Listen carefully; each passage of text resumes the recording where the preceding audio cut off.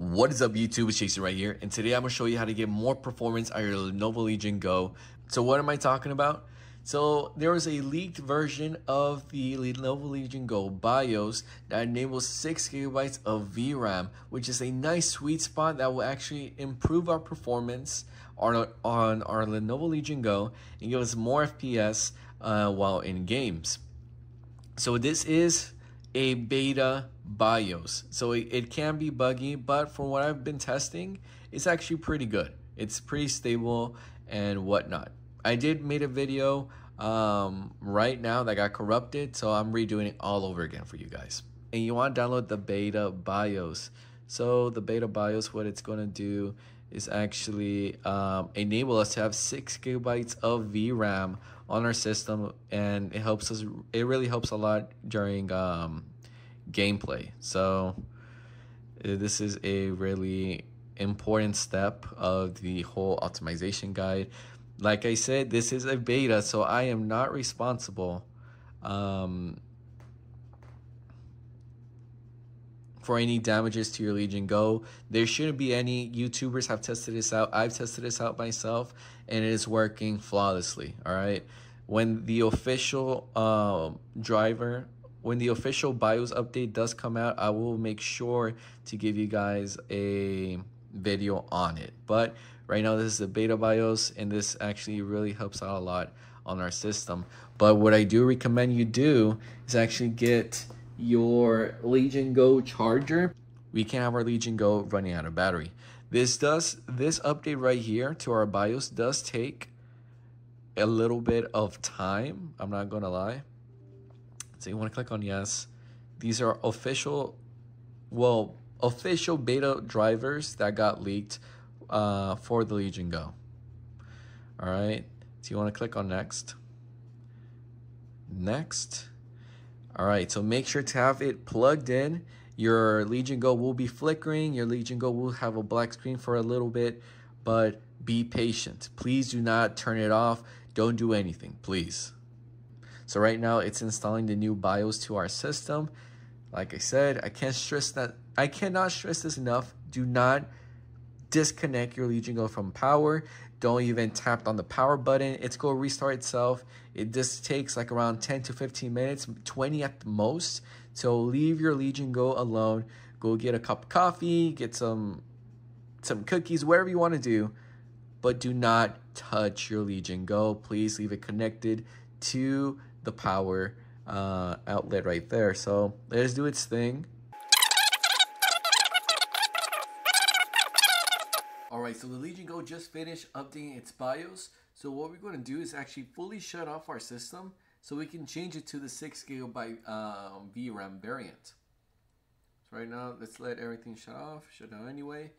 And we'll perform a benchmark as soon as we get this up and running. So we will let our system shut down. So let that do its thing. You'll notice when it's fully shut down, once the light turns off. Alright, so the Legion has just turned off.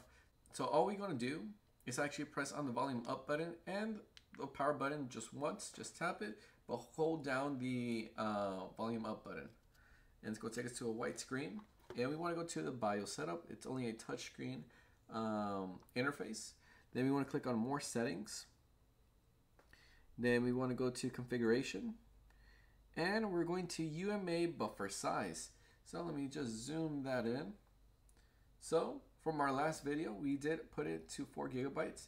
Now we go click on six. Six is the best sweet spot for the Lenovo Legion Go when it comes to performance and gaming. Then we want to exit. Exit with saving changes. And we'll click on yes.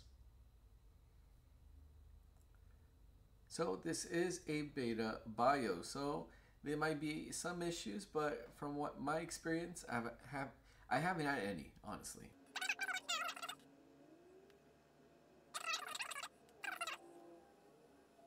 And where we'll do a benchmark in Call of Duty. On the previous performance video, we did got 83 FPS, so we're looking for a jump on FPS. So let's see that. So once I load up Call of Duty, I'll perform the benchmark right with you guys. So alright, we're back. We're going to load up the benchmark. So we're running the same settings as the previous video. And let's see what the 6 gigabytes of VRAM does to Call of Duty. I know more games can have better performance, but I wanted to start Call of Duty since that's one of the games that I know that has a built-in benchmark. So it's just for reference. So, Okay, I found this on the web for what are the same settings as the prize video. And let's see what the 6 gigabyte of VR to Call of Duty. I know more games and their performance, but I want to Call of Duty since that's one of Okay, so for some reason Siri just activated it. So that was crazy. But previous video we did have 83 FPS, so let's see how um, this one does.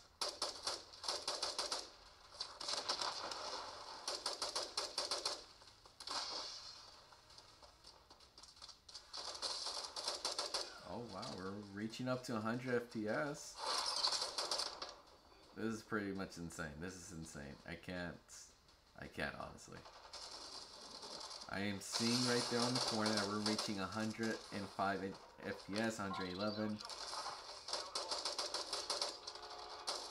This machine is a beast.